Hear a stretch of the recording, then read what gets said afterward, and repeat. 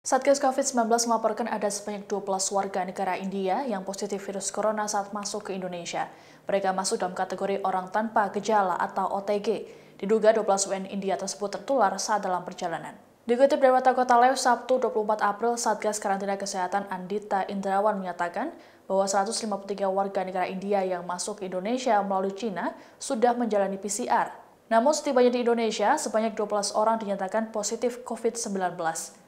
12 orang tersebut tidak mengalami gejala atau OTG dan diduga tertular saat dalam perjalanan.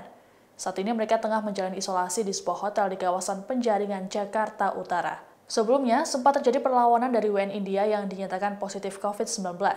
Hal ini lantaran mereka merasa sehat saat tiba di Indonesia. Untuk mengantisipasi hal serupa, dikerahkan personel TNI Polri untuk melakukan pengamanan. Rencananya para WNI India tersebut akan dikarantina selama 14 hari ke depan. Apabila sudah menyelesaikan masa karantina dan dinyatakan negatif, WNI India tersebut diperbolehkan menyelesaikan urusannya di Indonesia.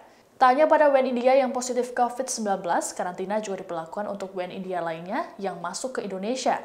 Sebanyak 141 warga negara India lainnya yang dinyatakan sehat menjalani isolasi di sebuah hotel di Taman Sari, Jakarta Barat. Untuk diketahui, pemerintah kini telah menghentikan pelayanan visa bagi warga negara India yang hendak melakukan perjalanan ke Indonesia. Hal ini menyusul terjadinya gelombang kedua COVID-19 di negara tersebut.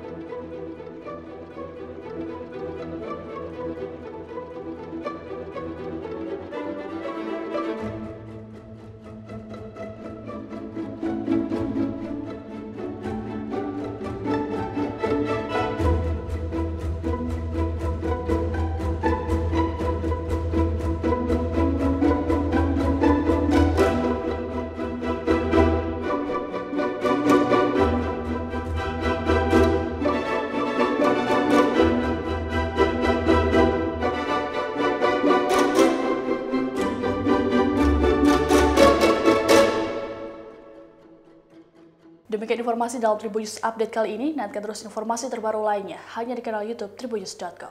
Terima kasih sudah nonton. Jangan lupa like, subscribe, dan share ya.